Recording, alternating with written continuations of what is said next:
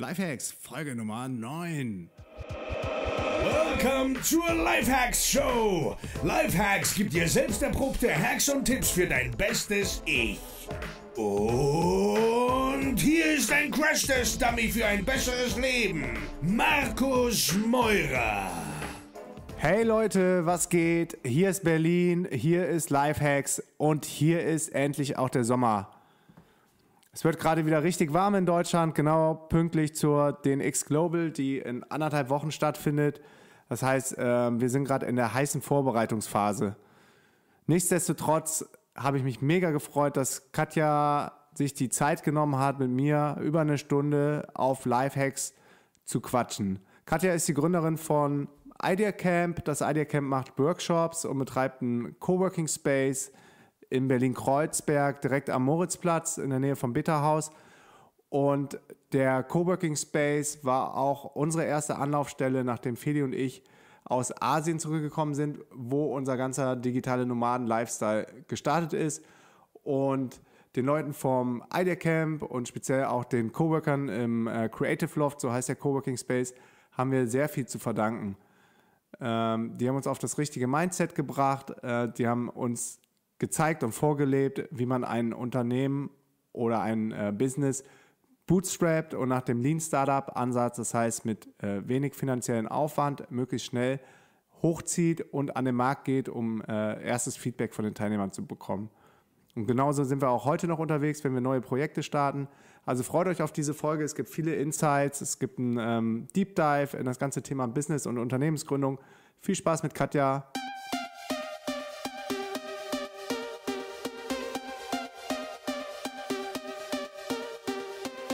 Ja, hey Katja, cool, dass du am Start bist. Ja, danke Markus. danke für die Einladung. Gerne, gerne. Wo bist du gerade?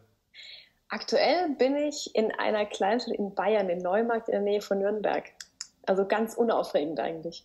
Ganz unspektakulär, kannst dich aber wahrscheinlich da ganz gut konzentrieren und kreativ werden oder was? Super gut. Also wir haben hier ein Wohnbüro. Es ist auch gerade tatsächlich meine neue, äh, mein neuer Wohnort. Also ich bin jetzt noch einmal im Monat für eine Woche oder so in Berlin, um da einfach Gespräche zu führen, zu Netzwerken, Inspirationen zu kriegen. Aber sonst ist es hier super, weil du hier echt Ruhe hast und äh, fühlen uns ja gerade wirkungsweise super wohl und können hier richtig produktiv und gut arbeiten. Ja, und wir heißt jetzt, wer genau? Mit wem arbeitest du? Ähm, Bernhard, mein Lebenspartner und Geschäftspartner und ich. Also wir haben uns jetzt hier entschieden, mal nicht im Ausland rumzuhoppen für, die, für den Sommer, sondern mal hier zu sein und es tut gerade sehr gut.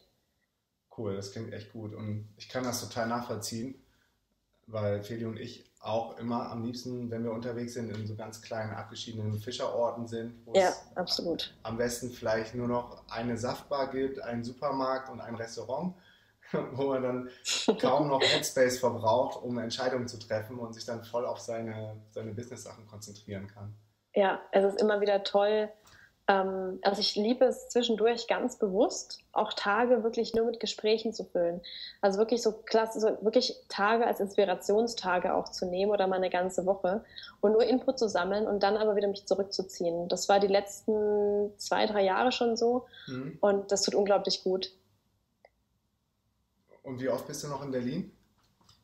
Momentan so ähm, eine Woche jeden Monat. Also so alle vier bis sechs Wochen bin ich in Berlin und dann meistens so für ungefähr eine Woche, um auch ausreichend Zeit zu haben, um einfach ähm, Treffen ähm, zu haben, auf ein paar Meetups zu gehen oder jetzt für die den X Global, ähm, die jetzt veranstalten, bin ich auch wieder da und bleibe dann auch gleich ein paar Tage länger. Okay. Das heißt, du triffst dich dann auch mit den Gründern vom Idea Camp? Weil du bist ja eine der Mitgründerinnen. Vielleicht erzählst du mal kurz was genau. zum Idea Camp und wie das alles gekommen ist. Ja, genau. Also das Idea Camp ist vor vier Jahren entstanden. Da haben wir ähm, uns irgendwann mal gedacht, äh, es gibt gar keine Stelle, wo man so richtig praktisches Gründen lernt. Damals waren wir noch in, haben wir noch neben, also da habe ich nebenher noch in Mannheim so ein Masterstudium gemacht und habe da meine Mitgründer kennengelernt. Und wir haben, wir wurden zum Businessplan schreiben erzogen und mhm. äh, am besten noch einen Investor suchen und haben gedacht, das kann es doch nicht sein.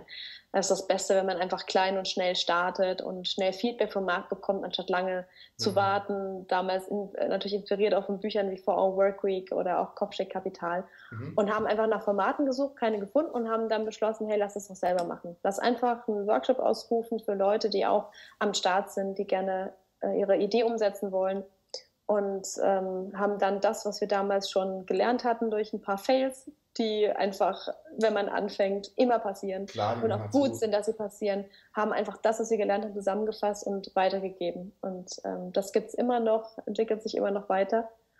Ähm, und so kam das Idea Camp ähm, in Berlin zustande. Ja, und du sagst gerade bei euch in der Lehre, in äh, Mannheim war das, ne? Ja, genau, richtig. Da wurde jetzt in der Theorie oder meintest du jetzt vielleicht, dass man das nicht tiefer behandelt hat oder wurde da gar nicht über den Aspekt des Bootstrappings oder des, des Lean Startup Approach ähm, gesprochen oder gelehrt oder Infos gegeben? Also die Story eigentlich folgende, ich bin witzigerweise über die Uni zum Gründen gekommen. Also ich habe in der Uni über einen Kurs, der Entrepreneurship heißt, mhm. habe ich damals ähm, zum Beispiel Kalle kennengelernt. Ähm, das heißt, wir waren alle mal irgendwann an der Uni Mannheim. Und was du da lernst, ist eben, schreib einen Businessplan, ja. pitch ihn, find Investor, starte. Ja. Ähm, ist völlig konträr zu dem, was wir uns damals parallel angelesen haben, zu den Erfahrungen, die wir gemacht haben. Weil wir gemerkt haben, es bringt nichts, lange zu warten, lange irgendwelche Zahlen runterzuschreiben, die nicht validiert sind, sondern das Beste ist einfach klein und schnell zu starten. Und das war der Aspekt. Das heißt, ähm, in diesem Studium damals, das mich glücklicherweise auf das Thema Kunden gebracht hat, ähm, war aber die Art und Weise, wie es vermittelt wurde, ähm, nicht so, wie wir das uns gewünscht hätten. Also es war wirklich dieser klassische Weg, schreib diesen detaillierten Plan, find einen Investor. Äh, mhm. Das Thema Bootstrapping war damals, ich glaube, es hat sich mittlerweile auch ähm, verändert. Das war ja damals noch recht neu, so gerade im deutschsprachigen Raum. Das kam alles so nach und nach erst auch in die, äh, in die äh, Literatur, in die Blogosphäre und so weiter. Ähm, und zu dem Zeitpunkt gab es dann noch kein Thema Bootstrapping. Das Wort kannte damals auch keiner in der Uni. Und dementsprechend haben wir eben gesagt, wir machen jetzt unser eigenes Ding da draus und äh, machen eben, das war damals auch ganz klar ausgerichtet, äh, Non-Profit, einfach nebenher Workshops, um eine Plattform zu schaffen, damit Gründer zusammenkommen können und ähm, ihre Ideen im schnellen Zyklus und ganz praxisorientiert ohne Kosten, nämlich indem man äh, Marketing-Tools, die auch kostenfrei zur Verfügung sind, äh, Website-Tools, die nichts kosten, einfach nutzt, was da ist mhm. und schnell rausgeht. So kam es eigentlich. Und das genau ist das Prinzip von Bootstrapping, ne? nur nochmal erklärt, dass, dass man eben nicht nach, nach Fremdkapital sucht, und genau, irgendwie sehr kompliziert Businesspläne schreibt und konzipiert und vielleicht auch schon viel Zeit und Aufwand und Energie und vor allen Dingen auch Kohle in Prototypen steckt, die, die noch gar nicht am Markt getestet werden können. Genau, also letztendlich ist es dieses aus eigenen Ressourcen die Idee umsetzen und auch wachsen. Das heißt, sich keine, in keine Abhängigkeiten bringen. Das passt halt auch sehr gut auch so mit diesen Grundwerten, die wir alle haben, nämlich Grundwert Nummer eins, Freiheit. Mhm. Behalte einfach die Hoheit auch über deine Idee ich will auch in keinem Projekt einen Investor drin haben, weil ich einfach, ähm, ich bin der festen Überzeugung, es gibt ein paar Projekte, da macht Fremdkapital an irgendeiner Stelle Sinn, aber ähm, es kriegt auch kein Projekt Fremdkapital, was nicht äh, funktioniert, also wo du nicht Umsätze machen kannst und Kunden überzeugst.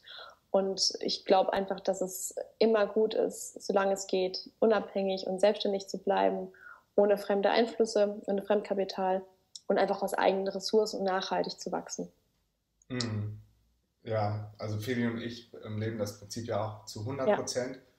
Und ja, muss dazu sagen, ohne euch oder ohne die, die Leute, die Jungs und die Mädels, also du und deine Mitgründer vom Idea Camp, wären wir, glaube ich, nie so früh und so schnell in die, in die richtige Gasse abge, abgebogen, weil cool. gerade ich auch noch sehr verkopft unterwegs gewesen bin, als ich mich selbstständig gemacht habe, nach jahrelanger Prägung durch die Corporate-Welt ja, ja. und insbesondere die Berliner Startup-Welt wo halt fett abgefeiert wird, wenn du wieder eine riesen Finanzierungsrunde einfährst und Absolut. die Bewertung irgendwie nochmal durch die Decke schießt, was aber mehr oder weniger als gepinnt ist oder gefaked ist, damit du dann irgendwie noch mehr Geld einsammeln kannst, um noch mehr Geld zu verbrennen. Ich sage jetzt nicht, dass es grundsätzlich äh, irgendwie mh, hm, schlecht ist, aber es gibt halt viele Startups, die es nur nach diesem Prinzip machen und äh, im Grunde viel heiße Luft produzieren und viel äh, Marketingzahlen produzieren, um dann irgendwann Exit zu machen und, und, einen Trümmerhaufen zu hinterlassen für die, für die Leute, die es dann gekauft haben, irgendwie mit guter Absicht.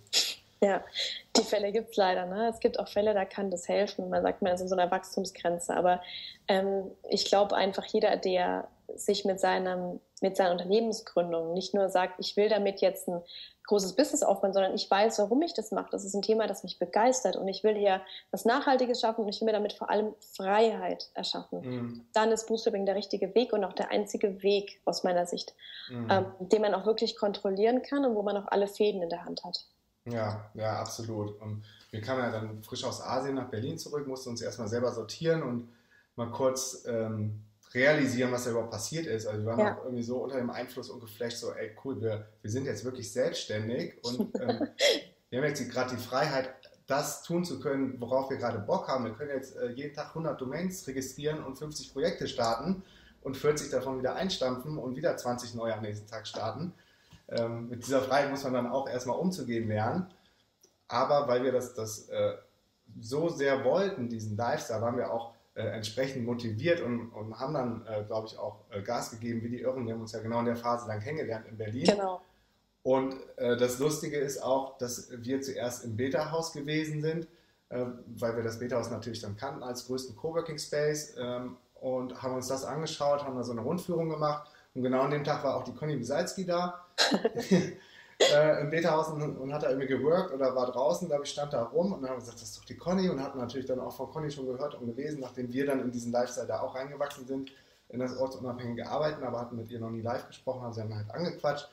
Ähm, Conny war direkt super nett und super offen und hat uns, glaube ich, am Tag danach äh, gefragt, ob wir nicht auch Bock haben, im Creative Loft ähm, Ja, genau, stimmt ja.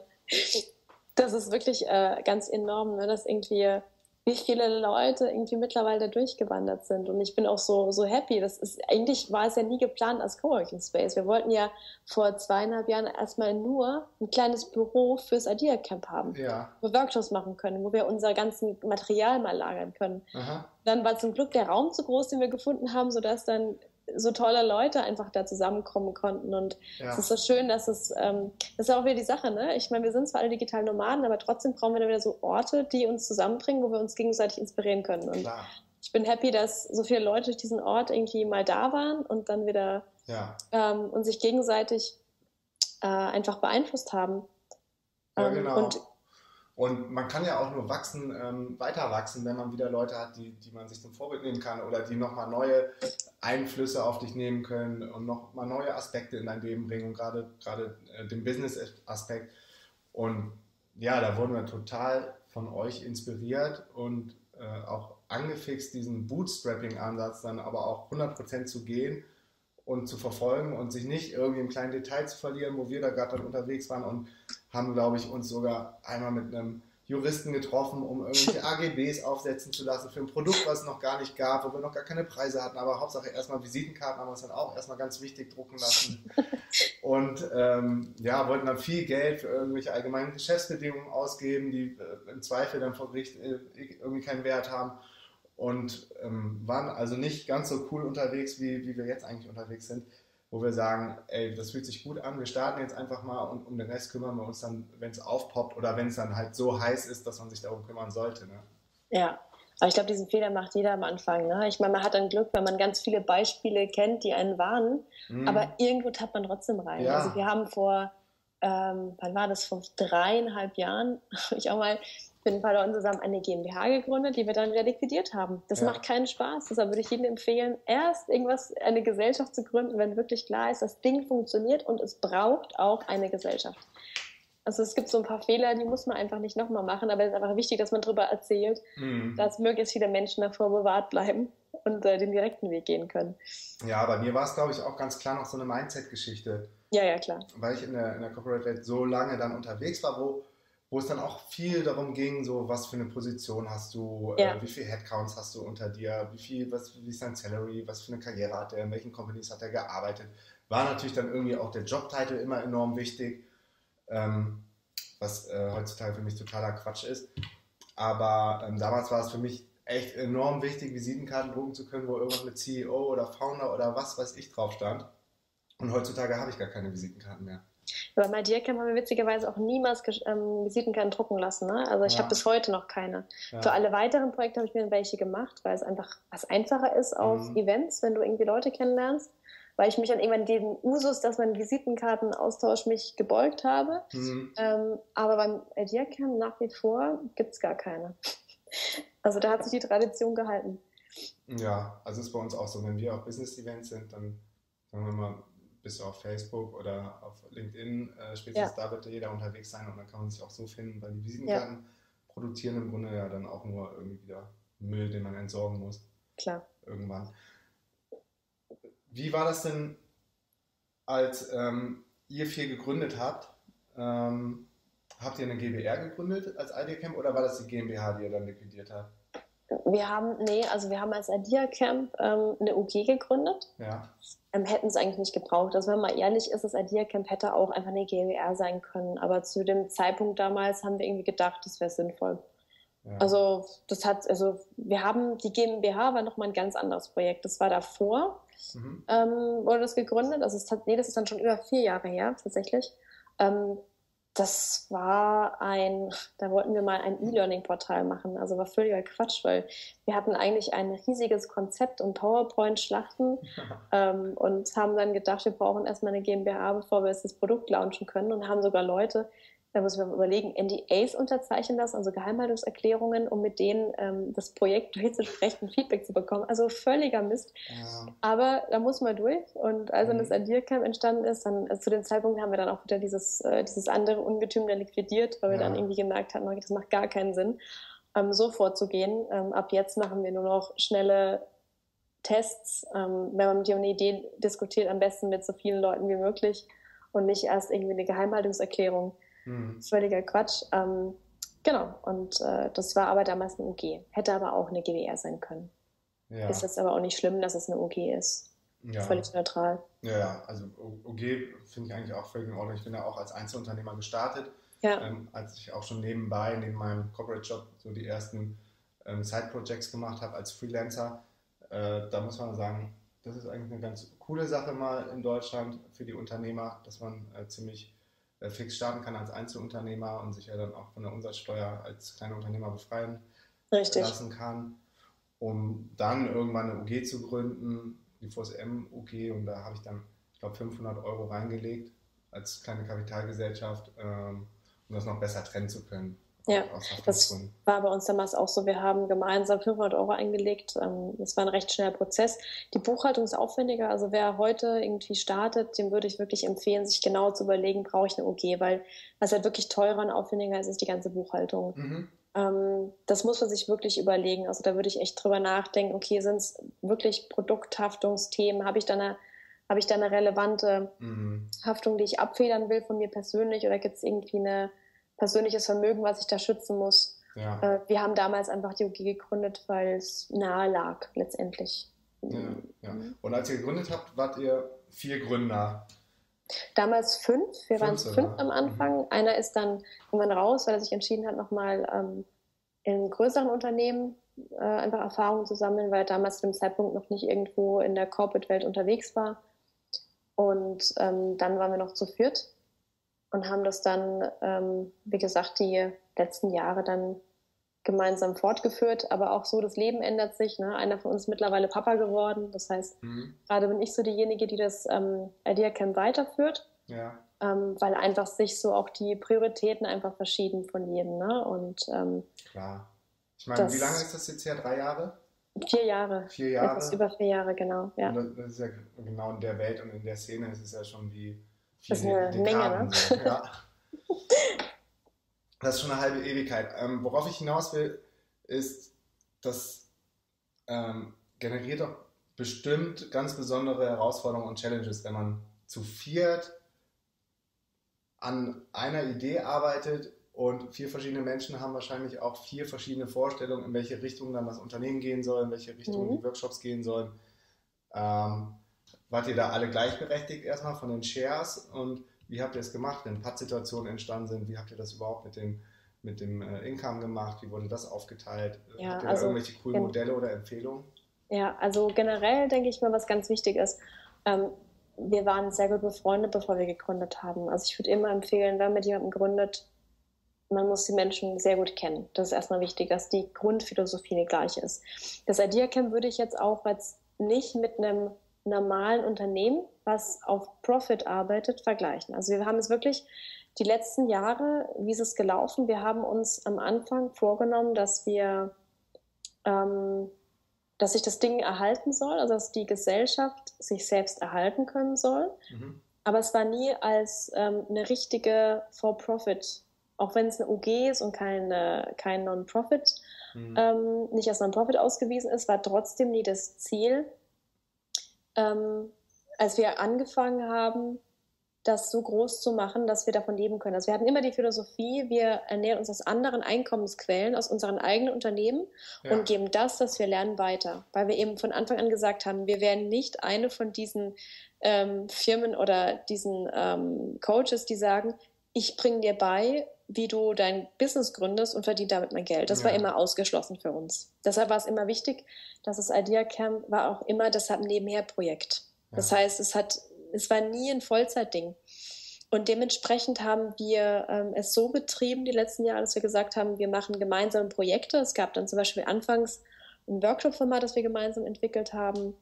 Dann irgendwann haben wir gesagt, wir machen das ein großes Event. Dann waren es irgendwie mal 80 bis 100 Leute, die dann bei unseren Events waren mhm. und haben wirklich als Team gemeinsam die Aufgaben verteilt und dann gestemmt. Da gab es vielleicht mal irgendwo auch ähm, mal Diskussionen oder der eine hat mal in eine andere Richtung gehen wollen, aber es war immer demokratisch. Also wir haben, wenn unterschiedliche Meinungen waren, es immer sehr demokratisch entschieden. Und mit dem Thema, wenn was übrig war, also wenn wir es gesagt haben, wir machen jetzt ein großes Event, was sehr viel Zeit natürlich in Anspruch genommen hat, dann haben wir uns auch einen kleinen Teil ausgeschüttet. Ne? Also mhm. so ist es nicht. Also wir haben schon eine Art kleine Aufwandsentschädigung. Mhm. Aber wir haben das also sehr ungewöhnlich für andere Firmen. Wir haben uns danach zusammengesetzt mhm. und ungefähr zehn Minuten bis Viertelstunde einfach darüber gesprochen, wer hat welchen Teil verdient. Und haben dann gesagt, ja, was denkst du so, wer hat welchen Teil an Mehrwert beigetragen und sind, da hat es nie Streit gegeben. Mhm. Es war, äh, weil wir, es war halt nie das Ding, was uns ernähren musste. Und es war immer mehr so eine Art, wie so ein bisschen Coaching-Gehalt, was dann vielleicht noch hinten runterfiel. Und dementsprechend ähm, haben wir da immer eine gute Einigung gefunden.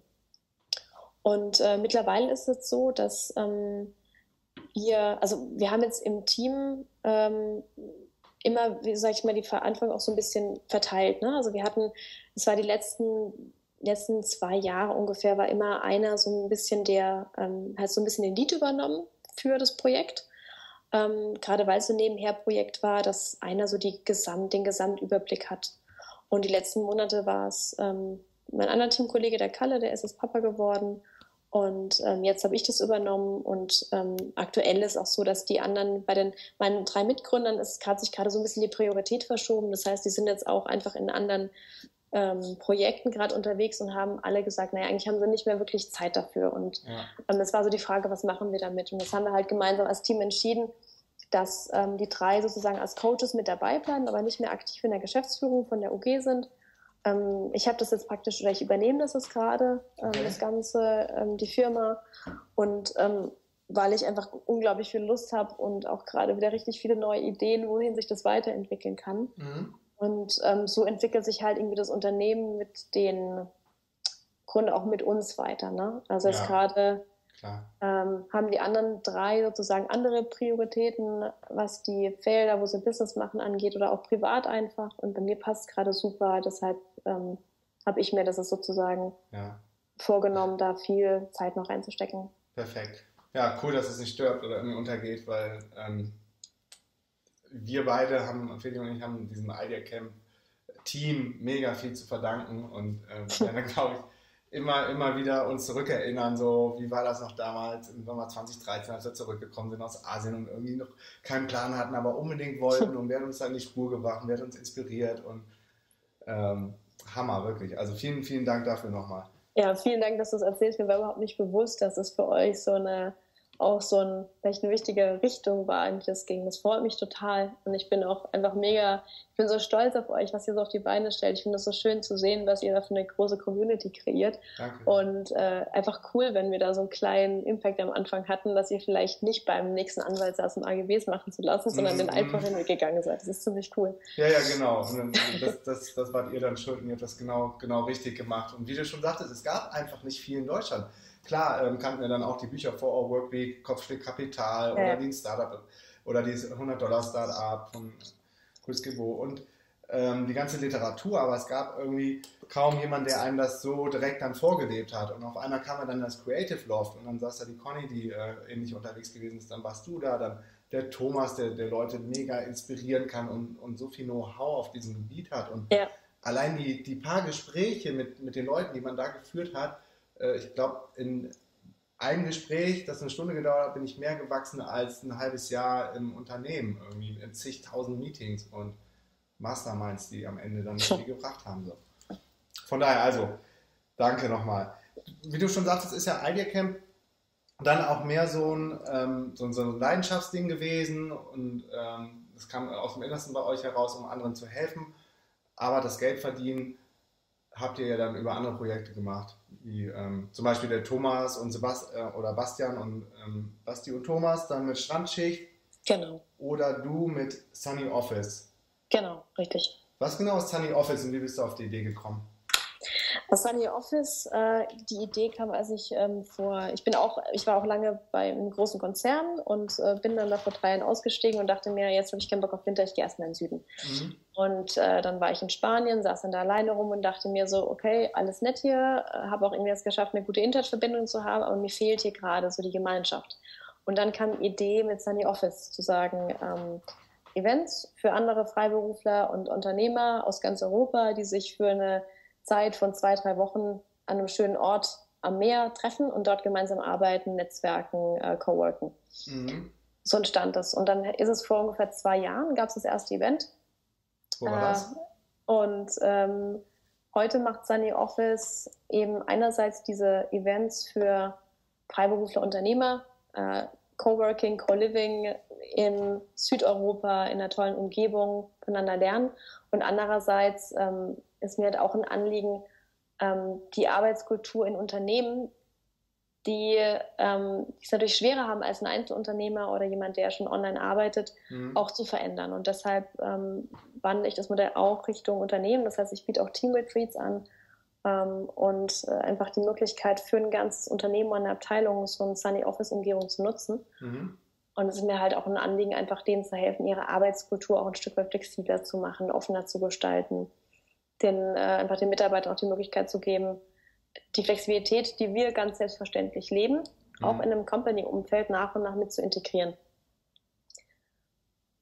Klingt sinnvoll. Klingt auf jeden Fall super gut. Kannst du mal so einen Beispieltag geben, wie, wie das abläuft? Klar. Office abläuft, wenn ich da jetzt Teilnehmer bin? Ja, ähm, also in der Regel, du stehst äh, morgens auf. Es gibt morgens oft schon eine Gruppe, die geht irgendwie am Strand laufen. Da kann man sich anschließen, wenn man Frühaufsteher ist. Dann ja äh, gegen 8, 9 trifft man sich gemeinsam zum Frühstücken. Ähm, da ist dann jemand vom Sunny Office Team, der Frühstück vorbereitet und dann startet jeder so in seinen Tag. Das heißt, am Frühstück tauscht man sich schon mal aus, was sind heute die Tagesziele. Dann ist einfach der Tag ist produktiv. Ähm, oft gibt es dann mittags nochmal eine Gruppe, die sich für so ein bisschen äh, Mittagssport zusammenfindet und nochmal ein bisschen äh, Energie sammelt oder mal in den Pool hüpft. Ähm, und am Abend haben wir so einen Punkt, ähm, also zwei Punkte, die immer sehr wesentlich sind. Das eine ist, jeden Abend kocht jemand anderes für die Gruppe. Das ist einfach ein total schöner Prozess, wenn man sich sehr gut beim Kochen lernt, man sich gut kennen. Ja. Äh, einer kann immer was kreieren für alle. Ähm, und danach oder davor, je nachdem wie die Gruppe tickt, setzen wir uns dann zusammen und dann eine Stunde, anderthalb nehmen wir uns wirklich Zeit für ein bis zwei Leute aus der Gruppe. Das heißt, die Teilnehmer du präsentierst dann, was ist dein aktuelles Projekt, wo hast du gerade ein Problem, äh, wo hängst du gerade, wo möchtest du Feedback haben. Ja. Und dann denken alle gemeinsam für dieses eine Projekt mit, brainstormen, wir dokumentieren das. Cool, und, also so eine Art Hot Seat. Genau, richtig. Und also das heißt, das ganze Event geht darum, dass man sich Ziele steckt, sich gegenseitig hilft. Äh, wir haben auch manchmal Sessions, wo einfach einer nur seine Learnings weitergibt oder die Leute in ein bestimmtes Thema einarbeitet, für das Experte ist. Also ist ein Tag, abends dann einfach noch gemütlich zusammensitzen, Abend ausklingen lassen und dann irgendwann schlafen gehen. Und wie lange dauert in der Regel ein Sunny Office? Oder ist das, ist das stable, ist das permanent irgendwo oder ziehst du durch die Welt und machst überall an verschiedenen Orten Sunny Offices? Mhm. Also wir haben verschiedene Standorte. Ähm, wir haben ein paar also Standorte, wo wir immer wieder hingehen. Die haben sich einfach rauskristallisiert in den letzten, ähm, in den letzten Jahren. Ähm, wo wir immer wieder gerne hingehen, ist bei Barcelona, Andalusien, in der Nähe von Lissabon. Das sind so ein paar Lieblingsorte, die sie entwickelt haben, auch auf den Kanaren. Und wir, das heißt, wir haben keine stationären Orte, sondern wir ziehen dann durch, sozusagen durch Südeuropa momentan. Und es gibt dann im Jahr fünf bis sieben Events, die dann an einzelnen Standorten sind und die dauern so zwischen zwei bis drei Wochen in der Regel. Mhm, cool, klingt richtig gut. Wie ist das bei dir persönlich? Kannst du sagen, wie viele Stunden du in der Regel arbeitest am Tag und wie viele Stunden du nicht arbeitest oder sind die Grenzen da fließend? Ähm, die Grenzen, ich würde sagen, momentan habe ich mir eine ziemlich ähm, fixe Struktur gegeben, weil ich das gerade mag. Also es kommt wirklich darauf an, wo ich gerade bin. Ne? Mhm. Ich würde sagen, in der Regel arbeite ich so irgendwo vielleicht zwischen sieben und acht Stunden pro Tag. Es kann auch mal mehr sein, auch weniger sein. Wir waren jetzt erst kürzlich zwei Monate in Spanien und äh, da kam es natürlich auch ganz drauf an. Es gab dann Tage, da sind wir äh, irgendwo umgezogen oder haben uns ähm, von einer Location in die andere gewandert sind oder haben erstmal die neuen Orte erkundet, wo wir dann waren. Mhm. Und dann äh, schrauben wir natürlich den Workload bewusst runter, um einfach Zeit für den Ort zu haben. Ja. Aktuell jetzt in der Phase hier in Bayern, ähm, hier kennen wir alles. Äh, ja. Hier sind auch trotzdem einige persönliche Treffen, aber die Arbeitszeit ist schon momentan sehr strukturiert. Also ich stehe immer morgens auf, bin dann so gegen neun oder so am Schreibtisch, nachdem ich ein bisschen Sport gemacht habe und ähm, dann schauen wir eben, dass wir auch nicht zu lange arbeiten. Also einfach gucken, dass wir irgendwann auch Feierabend haben und es so eine Struktur geben, die für uns als für unseren persönlichen Rhythmus gut passt und wo wir gut produktiv sein können. Ja, ja ich glaube, das ist ganz wichtig für jeden, der selbstständig ist und gerade auch der anfängt, ja. dass man eine gewisse Struktur in seinen Tag reinbekommt, um produktiv ja. zu sein. Und es hat auch wirklich lange gedauert. Ich glaube, jeder, der aus einem Job rausgeht und sich selbstständig macht, braucht erstmal eine Zeit lang, um rauszufinden, was ist eigentlich ein guter Ablauf für mich. Ja. Also das ist wirklich, ich weiß nicht, wie es bei dir war, aber ich habe viel experimentiert. Also von morgens ganz früh mhm. fünf, sechs aufstehen, ja. Äh, morgens Sport, in der Mittagspause Sport, zu Hause arbeiten, im Coworking arbeiten, mixen, mal Kaffee, mal zu Hause. Ich habe alles Mögliche mhm. ausprobiert. Mittlerweile bin ich ein riesiger Homeoffice-Fan geworden. Ja. Ähm, wenn ich einen guten Schreibtisch zu Hause habe und äh, gerne mal zwischendurch Abwechslung, indem ich mal in einen Café gehe für eine, für eine Arbeit. Ich gehe zwischendurch immer wieder spazieren. Äh, ich gucke, dass ich regelmäßig draußen bin, über den Tag verteilt. Das hilft mir ganz enorm. Aber das sind alles Dinge, die müssen sich die muss man so rausfinden für sich, was ein guter Rhythmus ist. Ja, hast du absolut recht. Also genau das Thema hatten wir auch und hatte ich auch, dass ähm, ich viel experimentiert habe. Was ist denn so das beste Setting für mich? Wie kann ich am besten arbeiten? Und ähm, das sollte man auch nicht unterschätzen, aber auch nicht zu hoch hängen. Am Anfang, glaube ich, ist es wichtig, überhaupt mal was zu machen und loszulegen, wenn man selbstständig ist. Ja. Und zu schauen, wie fühlt sich das überhaupt an, so viel freie Zeit zu haben, vermeintlich freie Zeit und wie kann ich die ähm, dann auch gut nutzen. Wenn man es ja eigentlich von, von dem alten Leben eher so kennt, dass wenn man mal freie Zeit hat, dann muss man ja entspannen, man muss chillen, man muss, keine Ahnung, Party machen gehen oder äh, am Wochenende Fernsehen gucken den ganzen Tag. Und auf einmal bist du für dich selber verantwortlich, diesen Tag so zu strukturieren, dass am Ende auch was Brauchbares bei, bei rumkommt, weil du willst ja irgendwie dann auch einen Impact auf andere Menschen haben oder ähm, oder einfach nur Geld verdienen. Oder du musst Richtig. auch irgendwie Geld verdienen irgendwann. Ja. Also ich dieses Thema aber auch, also ich glaube, eine der größten Herausforderungen, wenn man mal gemerkt hat, wie man produktiv ist, ist wieder zu lernen, wie man entspannt.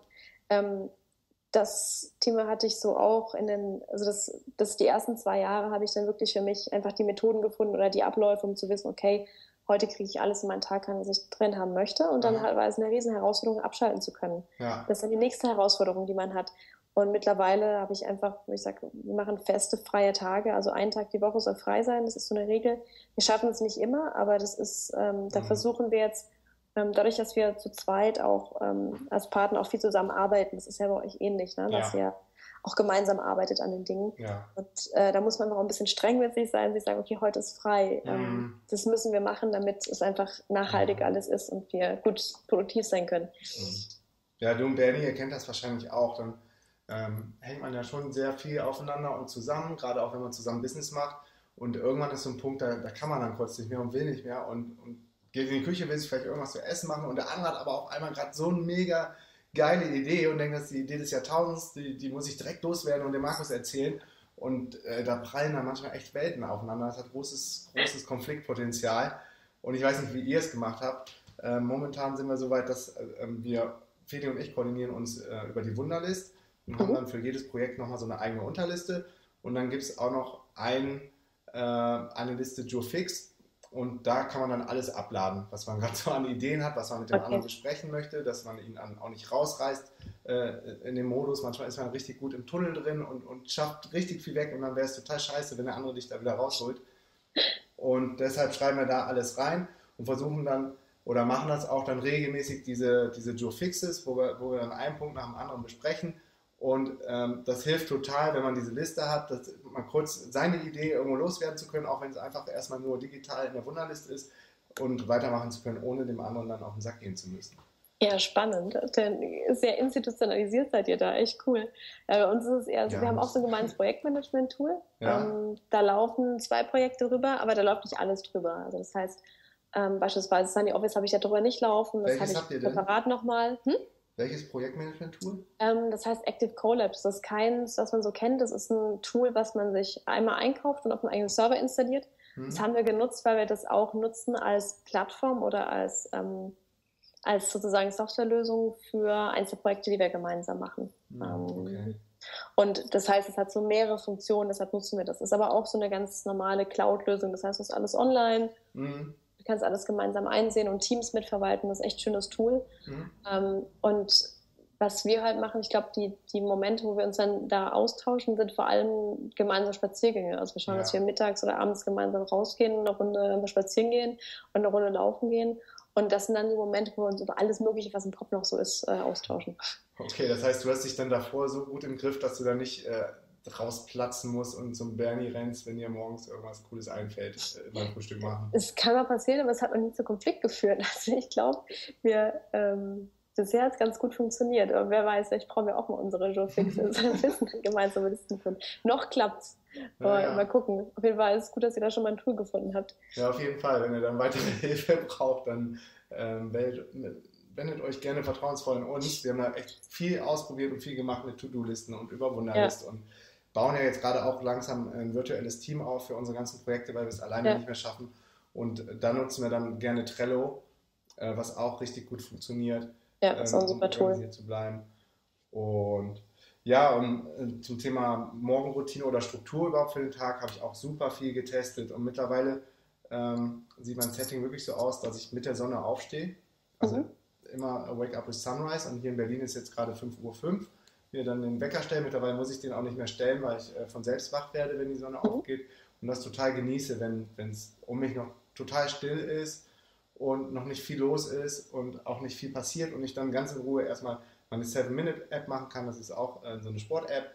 Ähm, danach meditiere eine Viertelstunde, dann mein Frühstück mache und dann mit dem äh, Most Important Task, beziehungsweise davor mache ich dann noch äh, das 5-Minute-Journal. Kennst du das? Ja, das kenne ich, genau. Einmal die Gedanken runterschreiben, ne? Ja, genau. Das ist super ja. useful und auch um positiven ähm, Mindset zu kommen. Ne? Dann äh, wird dann abgefragt, wofür bist du dankbar oder was möchtest du heute gerne, gerne schaffen oder was würde den Tag zu einem richtig guten Tag machen, sodass man sich dann schon mal so irgendwie so ganz langsam damit beschäftigt, was passiert heute alles, um dann loszulegen. Also das ist im Moment so, so das Setting, was am besten äh, funktioniert, aber das muss jetzt auch nicht in Stein gemeißelt sein und für die Ewigkeit. Ja, das ist immer im Fluss. Ne? Also gerade habe ich auch viel mit Meditation. Ähm, Sport ist gerade über den Tag verteilt. Das kommt immer darauf an, wie gerade der, die Agenda ist. Mache ich gerade so ein bisschen Lust und Laune. Ich habe eine Zeit lang bin ich jeden Morgen laufen gegangen. Mhm. Ähm, das, das kommt immer so ein bisschen auch auf den, ähm, auf die Jahreszeit an, wo man gerade ist. Ähm, ja. Aber was wichtig ist für mich, diese Fokuszeit morgens. Aktuell ähm, habe ich so eine Meditation gefunden über eine gute Freundin, ja.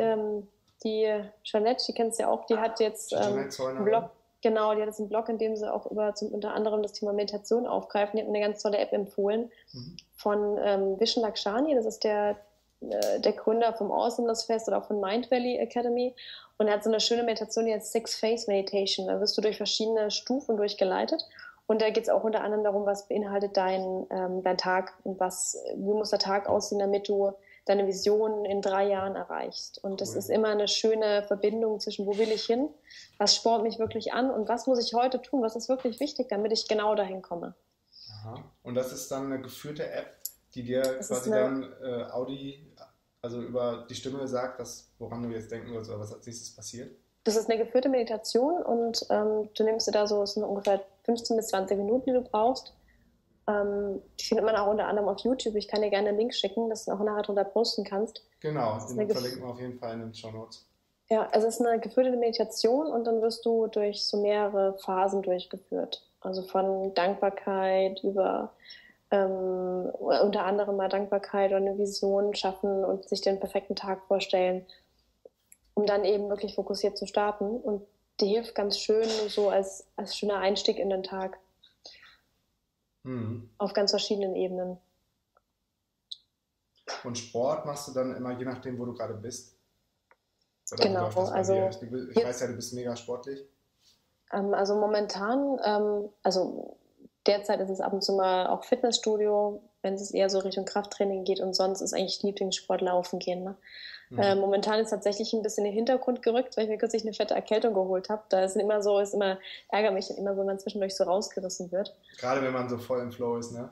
Ja, aber trotzdem, also am liebsten einfach eine Runde laufen, aus der Haustür rauslaufen, dann noch ein bisschen Krafttraining zu Hause. Das mache ich ehrlich gesagt am allerliebsten. Sachen, die schnell gehen, sich einfach in den Tag integrieren lassen und auch überall machbar sind. Ne? Ja, und welche Form von Krafttraining machst du dann zu Hause? Ein bisschen einfach Crossfit, also einfach schauen, also wirklich ganz simpel, ne? Also. Liegestütze, wenn ich Lust habe, ein paar Burpees, aber das wird seltener. Meine Freeletics-Zeiten sind echt seit ziemlich lang vorbei. Ich bin echt, äh, habe ich da echt, hab da echt abgebaut. Ähm, und sonst einfach so ein paar Muskelübungen ko kombiniert. Ähm, zwischendurch habe ich auch mal diese 7-Minute-App habe ich nicht ausprobiert, aber mit ein paar anderen Apps mal experimentiert, äh, mit so ein paar CrossFit-Übungen. Ja, ähm, Freeletics geht ja auch in die Richtung. Ja, genau. Das ist wirklich hardcore, ne? Ich, glaub, das ist krass. Das also ich habe das eine Zeit lang mhm. richtig viel gemacht. Äh, so drei, viermal die Woche mindestens. Und dann habe ich aufgehört und habe dann ein halbes Jahr später eine ganz kleine Übung gemacht ja. von fünf, sechs Minuten und habe wirklich gedacht, ich hätte mir irgendwie, also ich hätte mir die Sehnen überlastet. Also ich hatte so, so nie so einen bösen Muskelkater. Das ist richtig fies.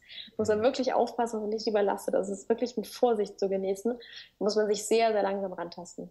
Ja, absolut. Also ich glaube, ähm, viele sind dann auch schnell demotiviert, weil die Ziele, die hängen da so hoch oder die, ja. die äh, Trainingspläne und die Intensität, dass selbst ich dann äh, da beim Einstieg dachte, so, wow, ey, das, das geht mir fast schon zu schnell. Ne? Ja, die Entwicklung ist sehr schnell. Also wenn man mal damit anfängt, also es ist krass, wie schnell man sich dann in den einzelnen Übungen weiterentwickelt. Mhm. Aber der Anfang, also die Muskelkater sind echt hart und ich bin mir auch nicht sicher, ob das so, so sinnvoll ist. Also ähm, wenn die Schmerzen so groß sind, dass man, oder dass auch zum Teil wirklich die Sehnen überlastet sind, da muss man wirklich aufpassen. Also mhm. ab einem gewissen Trainingslevel ist es super gut, mhm. aber gerade im Einstieg echt Vorsicht. Also mhm. da kann es einen ganz schön äh, auch beuteln nach so einer Übung, wenn man nicht aufpasst. Ja.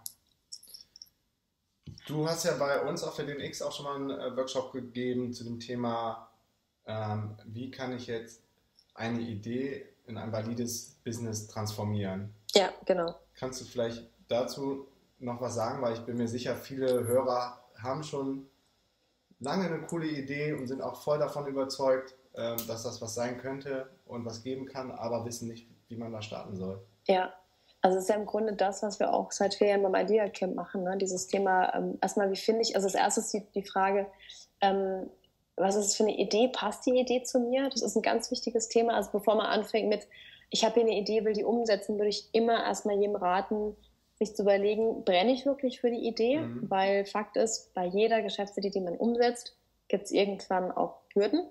Mhm. Und die bekomme ich nur, oder an denen kann ich nur dann auch wirklich fokussiert weiterarbeiten, wenn ich eine Vision habe. Und zwar am besten, dass diese Idee ähm, nicht nur einigermaßen spannend ist, sondern mich wirklich persönlich packt. Er sagt, okay, da ist auch eine persönliche Vision, die ich damit einfach erreichen will. Mhm.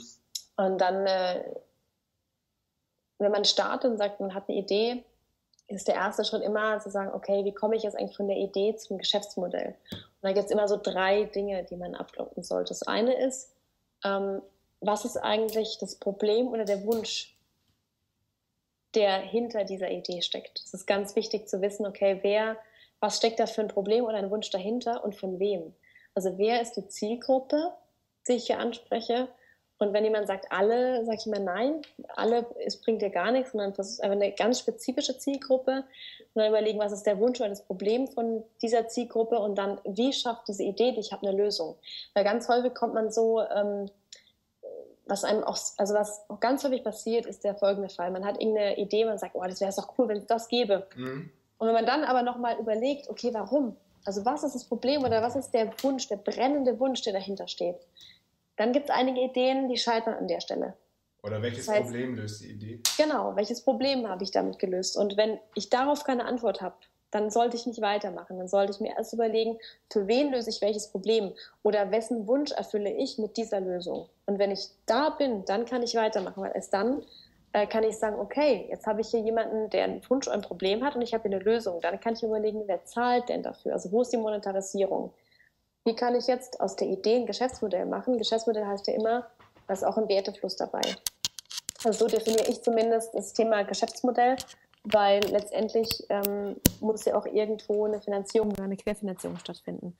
Und dann ist eben die Frage, gut, jetzt hast du da ähm, eine Idee, für wen ist der, wird der Nutzen generiert? Wichtig ist auch zu überlegen, wer zahlt. Ist es auch derjenige, der Nutzen bekommt? Beispiel, wenn jemand jetzt Produkt für Kinder auf den Markt bringt, neue App für Kinder beispielsweise, sind diejenigen, die es nutzen, die Kids, mhm. aber die, die zahlen, sind die Eltern. Ja. Ab bis zum gewissen Alter. Deshalb ist es ganz wichtig, sich zu überlegen, äh, welche Zielgruppe muss ich jetzt hier ansprechen? Wie positioniere ich mich? Und dann geht es eben weiter, dass ich jetzt nicht anfange, mich hinzusetzen und einen riesigen Businessplan zu schreiben, sondern die, der nächste Schritt ist zu überlegen, wie kann ich jetzt ganz schnell und ganz klein erstes Feedback von meinen Nutzern, von meinen Kunden bekommen? Wie mhm. kann ich jetzt einen schnellen ersten kleinen Markttest machen? Und ähm, das kann sein, indem ich eine kleine, simple Webseite online stelle und die streue, aber es muss nicht immer eine Webseite sein. Es kann auch einfach sein, dass ich sage, ich spreche mit zehn Leuten aus meiner Zielgruppe, hole mir Feedback mhm. und biete es denen ganz konkret an. Und wenn die sagen ja, dann weiß ich, okay, ich gehe in die richtige Richtung. Vielleicht sagen die aber auch, hey, das ist gar nicht mein Problem. Ich muss, das, mein Problem ist das folgende. Und dann verändert sich ganz am Anfang meine Idee. Das heißt, anstatt lange zu basteln, einfach so schnell es geht mit der Zielgruppe Kontakt aufnehmen. Ähm, Beispiel, als ich mit Sunny Office gestartet bin, habe ich auch mit einer ganz, ganz simplen, banalen Webseite angefangen, habe sie nur in meinem, Netz, in meinem eigenen Netzwerk gestreut. Über ein Baukastensystem? Bitte? Hast du die Website dann simpel mit einem Baukasten erstellt?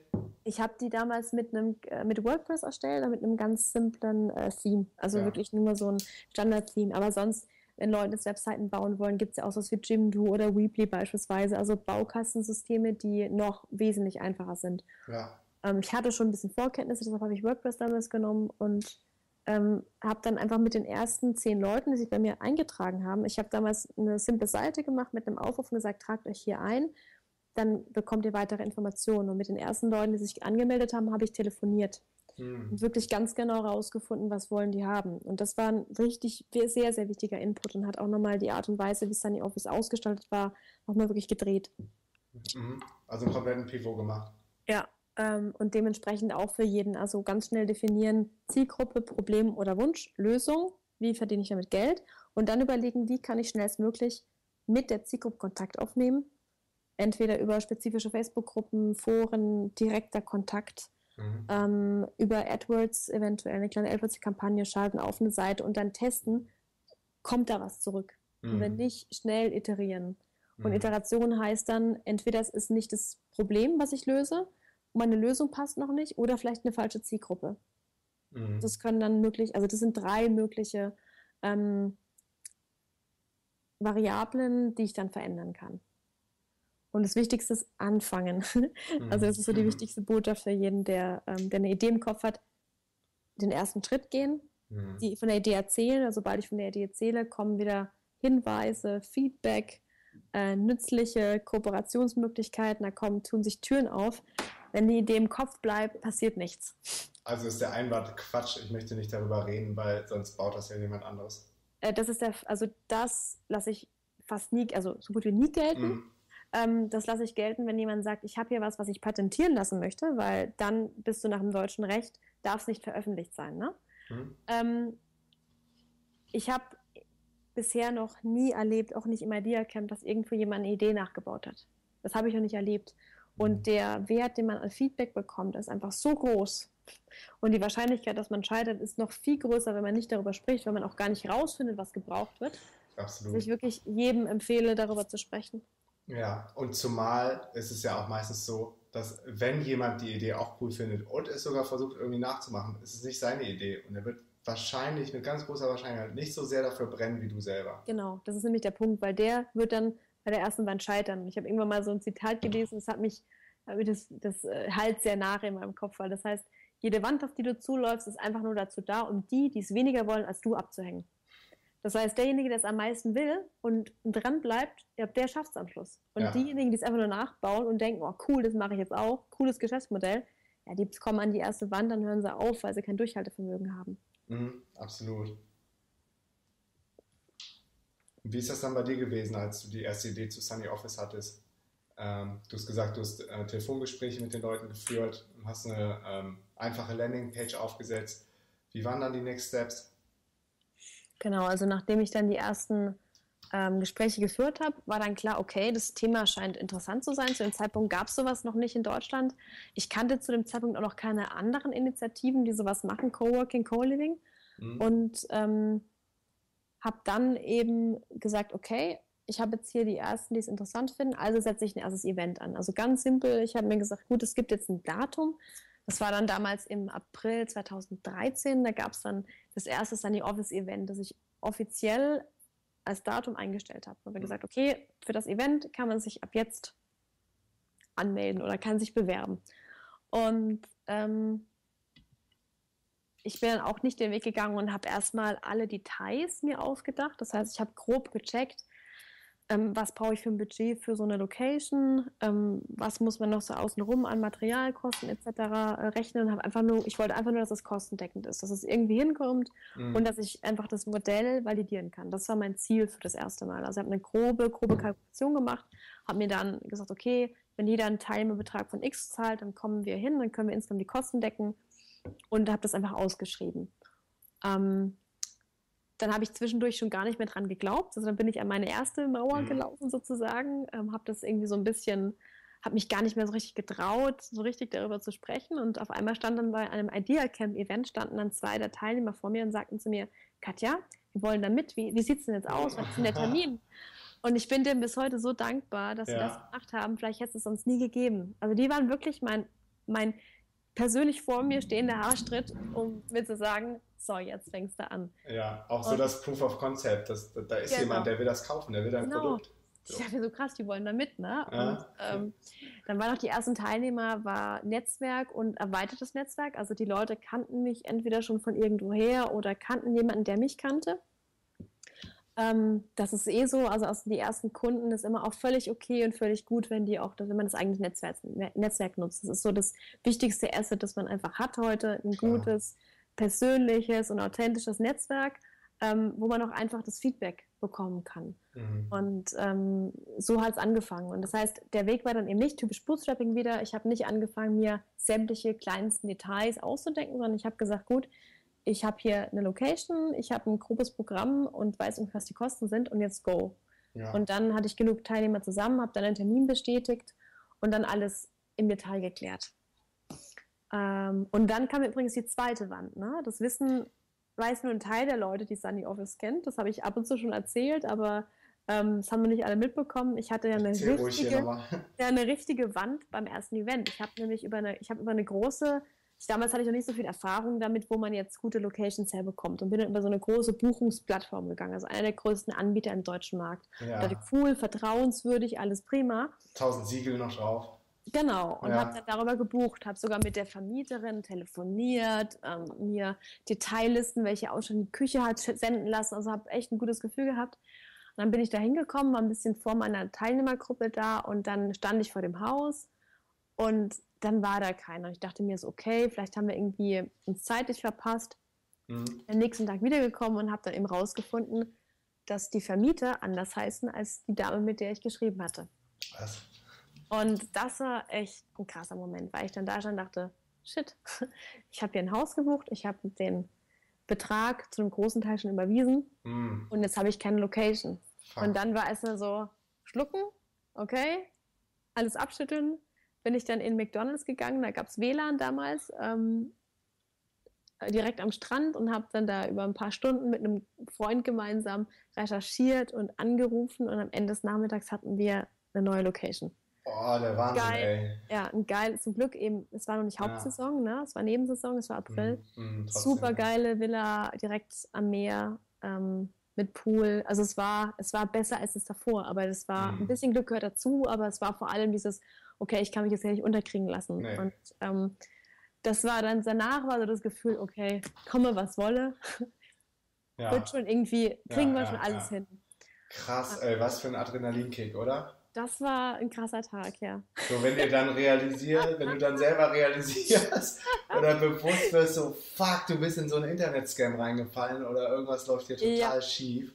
Auf das, jeden Fall. Wo ist die versteckte Kamera? Scheiße, hier ist ja gar keine Kamera. Ja, das war echt krass. Und dann, aber das war, auf der anderen Seite denke ich mir, okay, ähm, das hat mich nur gestärkt. Also es hat nur nochmal mir selber gezeigt, dass ich das wirklich will. Das ist eine Art von Gemeinschaft ist, die ich da bauen will, eine Art von Format, ja. Ähm, die zu dem Zeitpunkt einfach das perfekte, also die perfekte Arbeitsumgebung war, so wie ich sie mir vorgestellt hätte. Und ähm, da führte kein Weg dran vorbei. Ich habe dann natürlich beim ersten Event einen kleinen Verlust gemacht, aber so what? Also irgendwelche, also diese Du hast an Erfahrung, an, mega ja an Erfahrung Richtig. und gerade an dieser Situation bist du ja jetzt so gewachsen, dass du dann gedacht hast, so, ey, was dann noch kommt, irgendwas, Richtig. dass einer, äh, keine Ahnung, äh, andere Herausforderungen, die dann so ein Event entstehen, sagst du, weißt du, das ist ja eigentlich äh, Pillepalle gegen das, was genau. da vor ein paar Tagen passiert ist. Und dementsprechend war das dann, ich habe dann auch den Teilnehmern einen Tag bevor sie gekommen sind, eine Mail geschrieben und denen die Geschichte erzählt. Ähm, da kamen Rückfragen wie, war das jetzt ein Aprilscherz? Und dann habe ich so gesagt, nee, das ist wirklich passiert. Ähm, aber alle waren happy und äh, also war da nichts Schlimmes. Äh, alles ist alles gut gelaufen. Mhm. Aber mit so Sachen muss man halt auch umgehen wissen und die, mit denen kann man halt dann gut umgehen, ähm, wenn man einfach weiß, warum man das macht. Hätte ich keine Passion gehabt in dem Zeitpunkt, zu dem Zeitpunkt für das Format, für die Leute, die kommen, ja. geil, für die Gruppe, für den Leuten das ein geiles Event verschaffen, ähm, wer weiß, was dann passiert wäre. Aber so ging es halt einfach weiter. Ja, aber das, das kenne ich auch von mir persönlich so. Wenn da mal was, was richtig krasses passiert oder dich irgendjemand anderes hm, irgendwie doof kommt oder dich unter Druck setzt oder irgendwas, irgendwas los ist so, dann, äh, dann bin ich nur noch motivierter, wie so ein angeschossenes Tier oder so. Ähm, brennt man dann noch mehr für die Sache und zieht das dann, dann knallhart ja. durch. Und manchmal, manchmal ist das auch ganz cool, so kleine Trigger zu haben oder ich meine, es, es, geht ja nie immer nur aufwärts. Wir haben ja auch mega viele Rückschläge gehabt. Da kann ich irgendwann mal länger drüber äh, reden, was alles schiefgelaufen ist bei uns, weil die Leute sehen uns jetzt nur irgendwie in der Wirtschaftswoche oder im Süddeutschen Magazin und denken, hier iTunes äh, funktioniert auch alles von 0 auf 1 in die Charts, aber wie viel Scheiße da im Hintergrund passiert und wie viel Fehler wir gemacht haben, aber wie viel wir davon auch gelernt haben, das sieht irgendwie keiner oder ähm, wie viele Stunden wir hier auch wirklich produktiv sitzen und arbeiten und machen und tun und wie viele Leute ich auf den Sack gegangen bin für iTunes-Bewertungen und äh, äh, für die ersten Facebook-Fans für unsere mhm. ähm, Projekte, wo du auch da schon sagtest, persönliches Netzwerk oder so. Wir haben meinen Bruder genervt, meine Mutter genervt, die Eltern von Feli. Wir, ich habe dem, dem Vater da auf dem Internet, äh, auf dem Rechner alles installiert, damit er uns dann die Likes geben kann und so. Ne? Und nur so läuft das aber auch. Und das ja äh, das, das muss man sich immer wieder auch bewusst machen, wenn man dann sieht, jemand ist schon sehr weit, der hat auch mal irgendwann bei Null angefangen. Ja, und das Durchhaltevermögen zählt halt. Das kontinuierliche Dranbleiben, Dranbleiben, Dranbleiben. Ähm, das ist das, was nachher auch Erfolg hat. Ja, absolut. Und einen zweiten Punkt, den du angesprochen hast, den ich auch super wichtig finde, ist, ähm, sprich mit deiner Zielgruppe. Ja, total. Das haben wir zum Glück dann auch ziemlich, ziemlich früh äh, gemacht und immer, wenn wir nicht wussten, machen wir jetzt Workshops äh, zur DNX oder nehmen wir keine Workshops. Die einen fanden das Format besser, die anderen fanden das cooler. Haben wir gesagt, weißt du was, wir machen jetzt eine fette Umfrage, jeder kann teilnehmen. Äh, am besten noch offene Fragen, so die Leute, die fühlen sich dann abgeholt, die äh, brainstormen gerne mit dir, wenn die dich mögen, wenn die dein Produkt oder deine Marke mögen. Und das ist so wertvoll, weil die sich dann auch äh, quasi mega abgeholt und involviert fühlen in diesem Entstehungsprozess von irgendeinem Produkt oder von irgendeiner Sache. Und wenn du das dann live gehen lässt und fragst, wie viel wäre dir ein Workshop wert, drei Stunden, und hast dann irgendwann auch einen Preispunkt genau zu dem Preis, wo die meisten dann auch kaufen würden, dann kaufen die auch. Ja. Oder wie ähm, anderes Beispiel, Feli schreibt gerade an ihrem E-Book und hat dann ihre Fans von Travelicia gefragt, über welches Thema sie schreiben soll. Und letztendlich ist ein ganz anderes Thema geworden als das, was wir beide erwartet hatten. Ja, aber so macht es Sinn. Ne? Das ist das auch die Richtung, wo es gerade bei dir Campaign geht. Also da gibt es schon einen Online-Kurs. Mhm. Da geht es die nächsten Tage auch nochmal live, weil bisher machen das ist nur eine ganz kleine Community dort, die das, äh, die den nutzt. Und der wird auch genauso weiterentwickelt. Also einfach, wir werden einfach Feedback einholen, welche Punkte fehlen noch, wozu braucht ihr detaillierte Tutorials, wozu braucht ihr Informationen und werden einfach nach und nach die Inhalte ergänzen, bis dann wirklich das Ding alles enthält, was ein Gründer braucht, um zu starten. Und ähm, das ist einfach so ein wichtiger Ansatz. Ich könnte mir jetzt auch einen riesigen Contentplan machen. Ich habe auch eine Liste von mindestens 30 Punkten im Kopf, die ich ergänzen will. Mhm. Aber um zu wissen, welche davon sind am wichtigsten, muss ich einfach die, die heute den Online-Kurs machen oder die jetzt neu dazukommen, einfach fragen. Ja. Und das lässt sich halt auch einfach nach und nach richtig gut ergänzen. Ähm, und das ist so, glaube ich, auch der einzige Weg, um auch nicht dran vorbeizuschrammen. Ne? Also du kannst natürlich auch jetzt ein perfektes oder eine perfekte Konferenz überlegen, wie ihr es jetzt macht. Aber ob das dann denjenigen, der teilnimmt, auch wirklich äh, nutzt und ob das die wichtigsten Inhalte umfasst, weißt du halt nur, wenn du fragst. Von daher ist es genau richtig, da vorher einfach mal auch die Chance zu geben, mitzuwirken. Mhm. Das ist ja genau dein Punkt. Ähm, löst du damit ein Problem für andere? Ja, ich denke genau. ja nicht, dass ich jetzt die coolste Konferenz ever in meinem Kopf, wie sie in meinem Kopf ist, irgendwie auf die Beine stelle sondern genau das mache, was den meisten Leuten hilft. Ja. Und das ist, glaube ich, genau der Punkt. Cool, ich sehe gerade, wir haben jetzt auch schon fast eine Stunde miteinander gesprochen. Die Zeit vergeht wie im Flug. Ähm, auch ist ja auch immer so, wenn wir uns in Berlin sehen, das ist ja auch genau der Punkt, den ich eben angesprochen habe im Loft, wenn du da so die Leute dann triffst, die dich dann äh, inspirieren und mit denen du dann auf dem gleichen Level bist und wieder was mitnehmen kannst, dann dann äh, ist das so wertvoll, finde ich. Und dann sollte man sich auch jede Minute dafür nehmen. Und genau wie du dann vorher auch schon gesagt hast, dieses Netzwerken, dass du das dann ziemlich intensiv machst, weil du wahrscheinlich auch genau weißt, was für einen Wert das für dich hat, um dann äh, sich wieder einzuschließen und weiter an seinen Projekten zu machen. Genau, ja. Ja, also kann ich jedem nur empfehlen. Ähm, ich musste da am Anfang auch so ein bisschen aus mir selber rauskommen entweder man plant es dann so bewusst wie du, dass man sich so Phasen macht und sagt, so jetzt äh, mache ich mal zwei, drei Wochen wieder Hardcore-Netzwerken. Das machen wir meistens in Berlin, weil wir nicht mehr so oft in Berlin sind. Gehen mhm. wir dann auch auf viele Events oder treffen uns mit anderen zum Coworken oder versuchen irgendwo Talks zu halten, äh, versuchen ins Gespräch zu kommen, sprechen andere Leute an, äh, von denen wir wissen, dass sie in Berlin sind, ob wir uns nicht mal treffen wollen. Also man muss das schon ganz schön aus sich rausgehen. Aber die allercoolsten Connections, auch gerade jetzt, ähm, was die DMX angeht, die, die richtig guten, coolen Speaker, die haben wir dann alle immer irgendwie durch Zufall, durch persönliche Begegnungen auf den Events kennengelernt. Ja, das ist auch so ähm, einfach tolle, beispielsweise auch Kontakte ne? oder Menschen, die, mit denen ich jetzt auch zum Beispiel im Sunny Office oder in anderen Projekten gemeinsam arbeite. Die ergeben sich durch persönliche Kontakte oder weil sie davon hören. Also es ist wirklich so, sobald man rausgeht, Mhm. Ähm, findet man auch Menschen, die einen unterstützen wollen, die mit einem zusammenarbeiten möchten, wo man einfach merkt, da kann ich, dem kann ich weiterhelfen. Das ist ein sehr schöner Effekt. Und mhm. ich glaube, es ist auch, was mich jetzt auch gemerkt habe, seit wir hier ähm, im Bayerischen sind, es muss nicht aufhören, nur weil man nicht in der Großstadt ist. Also auch hier gehen wir bewusst auf Netzwerktreffen, tauschen uns auch mit lokalen Unternehmern aus. Ne? Ja. Gerade im ländlichen Raum. Hier gibt es so viele coole, gewachsene Familienunternehmen, junge Leute, die irgendwie Betriebe übernehmen, die gerade neue Wege gehen. Hier gibt es cool. richtig gute Leute. Worüber, andere. Worüber, ja? Sorry. Worüber findet ihr die äh, Meetups dann? Gerade wenn ihr jetzt ähm, ein bisschen weiter weg seid. Also beispielsweise gibt es sowas wie äh, die Wirtschaftsjunioren. Es gibt so lokale Vereinigungen. Ne? Es gibt ab und zu mal IHK-Veranstaltungen, die hätte ich nicht gedacht, auch ab und zu mal gut, wirklich interessante Sachen dabei sind.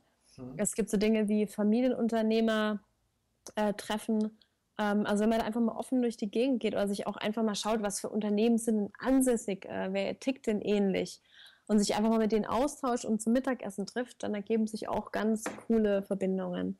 Mhm. Wir haben zum Beispiel jetzt hier gegenüber ist ein, äh, ähm, ein Blogger, der wohnt hier schräg gegenüber. der hat mittlerweile einen Blog mit, ähm, mit mehr als 150.000 Usern äh, pro Monat. Der wow. hat es nebenher gestartet und wow. ähm, das sind Leute, die erwartest du hier nicht auf dem, auf, in der Kleinstadt, aber die gibt es hier halt auch. Man muss halt die offen die Augen aufhalten und die Ohren aufmachen. Dann trifft man halt auch irgendwie, weil man nicht in Berlin ist, auch echt spannende Leute. Ja, und die Möglichkeiten werden ja immer besser. Also das merken genau. wir beispielsweise auch, wenn wir unterwegs sind. Ähm, sind wir früher auch bewusst, wenn wir dann äh, netzwerken wollten, in so Hotspots gegangen wie Medellin äh, genau. äh, oder Bangkok. Aber mittlerweile haben wir ähm, beispielsweise jetzt einen richtig, äh, der mittlerweile ein guter Freund ist, einen richtig guten Kontakt in äh, London kennengelernt, den Jonathan, äh, der aus der Londoner Startup-Szene kommt. Den haben wir in Taganga in einem kleinen Fischerdorf in Kolumbien kennengelernt ähm, mit Hilfe von dem Hashtag Nomad Slack-Kanal ja. von Peter Levels. Ja. Also die Zeiten werden auch immer besser, dass man sich überall treffen kann und überall spannende Menschen findet. Absolut. Ganz zum Schluss würde ich dich gerne noch fragen, was würdest du machen, wenn du eine Million Euro auf dem Konto hättest? Wie würde dann dein Leben aussehen? Ähm, ziemlich ähnlich, glaube ich, ehrlich gesagt. Äh, ich würde ähm, mich mit vielen spannenden Menschen treffen, würde versuchen, ganz viel Wissen weiterzugeben. Also, was ist für mich ein toller Tag? Ein toller Tag ist für mich dann, wenn ich das Gefühl habe, cool, heute habe ich jemandem irgendwie weitergeholfen. Oder mhm. heute hat jemand durch irgendeinen Impuls ähm, es geschafft, seine eigene Idee umzusetzen, sich selbst zu verwirklichen. Das ist ein richtig cooler Tag für mich. Das mhm. heißt, ich würde meine Zeit dann wahrscheinlich darauf verwenden, ähm, mit vielen spannenden Menschen zu sprechen, das Wissen äh, einfach versuchen aufzubereiten, weiterzugeben und ähm, vielleicht noch ein bisschen mehr rumreisen. Ich glaube, ich würde mir ein bisschen mehr Zeit nehmen, bewusste Zeit nehmen, um ähm, nur reine Reisezeit zu haben. Also nicht dieses typische Reisen und Arbeiten, wie wir es alle machen, sondern mal wirklich Abschaltzeit. Mhm, mhm. ähm,